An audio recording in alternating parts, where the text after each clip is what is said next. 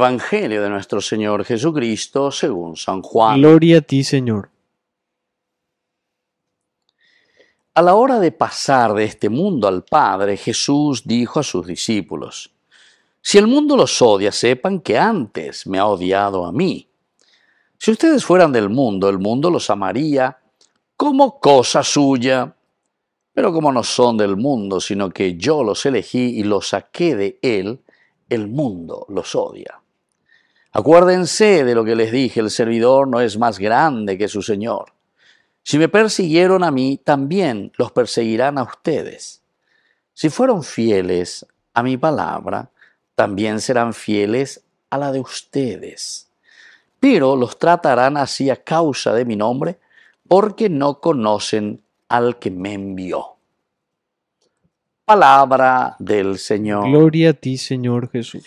Queridos amigos, aquí entonces el Señor nos pone sobre el tapete uno de los elementos esenciales y fundamentales que es creer en su Evangelio. Es decir, aceptar el mensaje de salvación. Aceptar.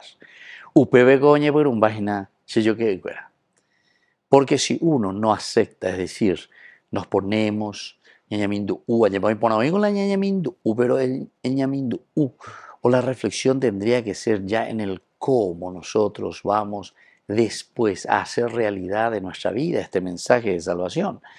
Entonces, tenemos que saber que no todos, no todos quieren aceptar el mensaje de salvación.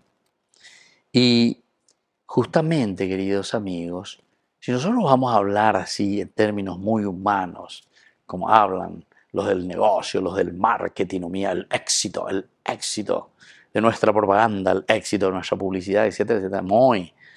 Y está entonces a ver si cuanto más, cuanto más gente que esto, que aquello, ¿verdad? pueda comprar, pueda hacer. Queridos hermanos, la vida cristiana anda en marketing. A pesar de que muchos muchas veces dicen, ¿verdad? Dicen, y este, ustedes, eh, algo iglesia y ve lo mismo. En fin, ya entendé cómo va la iglesia. Usted es la iglesia y usted es la iglesia. Primero él ya no se considera iglesia, ¿verdad? Este, le falta marketing, le falta televisión, le falta radio. De de hermano, cuera, protestante, cuera o lo que sea, ¿verdad? No, queridos hermanos. Aquí no es cuestión de marketing. Aquí saben qué es. Es cuestión de aceptar el mensaje de salvación. Porque cuando hacemos mucho marketing, ustedes saben que la publicidad, la propaganda, etcétera, etcétera, cualquiera de los productos así que hacen mucha, mucha publicidad, ¿saben para qué? Solamente para vender. Entonces, sea el producto que sea, ojo, para marketing allá. Especialmente quieta, aquello que vale, aquel mensaje de salvación que es verdaderamente un mensaje que uno dice, esto es lo que yo necesito porque sé cuál anda y apoya Ahí entonces, queridos hermanos, cuando nos damos cuenta ciertamente que nadie tener la marketing. Es decir, el marketing que nosotros hacemos en ese sentido, queridos hermanos, va a ser justamente nuestra vida y nuestro testimonio. Y entonces por eso, más que mirar el éxito, ¿verdad? Del éxito de la misión de la iglesia, ¿verdad? No va a consistir absolutamente en cuántas personas van a aceptar, este te aceptaron, este te dio la firma, este te dio lo que. Ojalá también ¿Por qué? Y porque justamente aceptó el mensaje, ¿verdad? Pero sobre todo, ¿saben qué, queridos hermanos?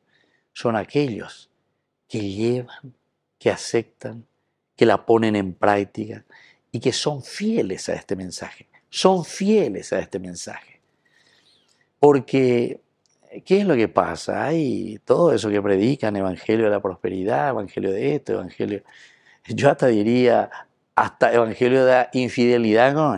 Lleva de momento llegué porque en DUP vende escuela, esperan de amor, ya llegué a pago, etcétera, etcétera. O sea, esperar el evangelio. Pero si no es el evangelio de Jesús, nunca no es ya.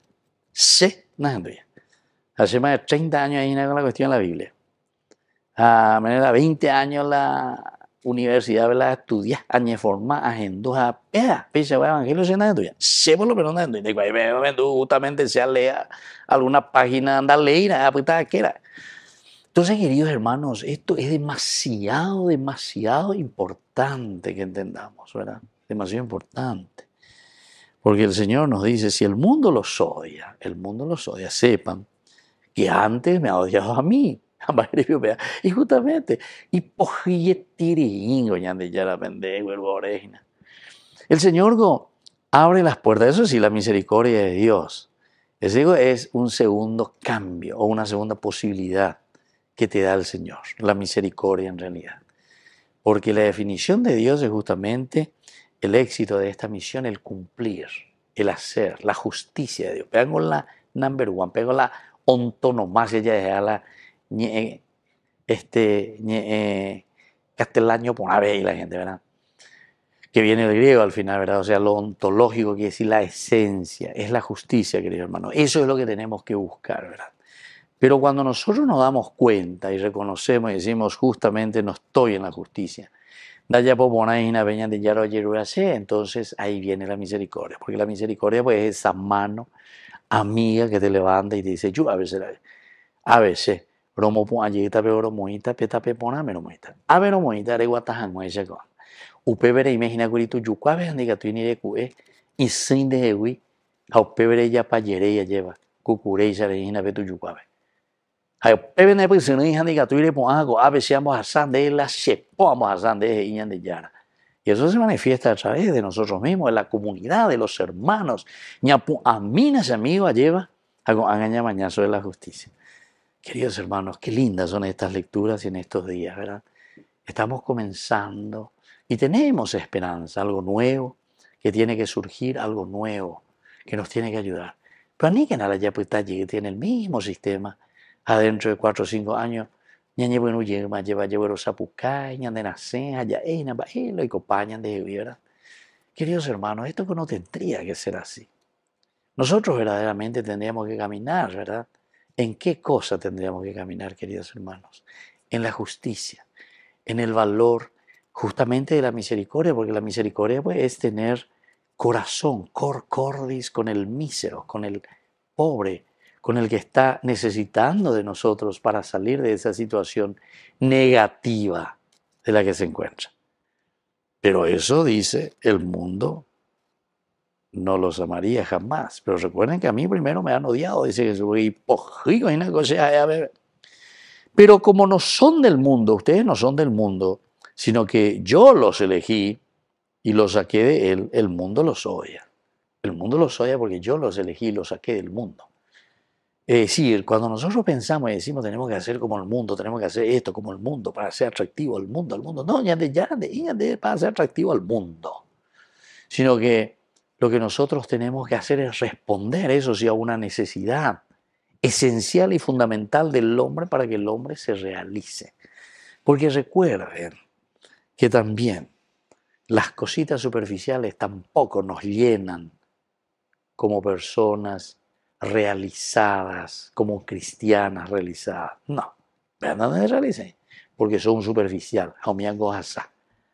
Umía, ella se malo latino, Fama fumus, fama fumus.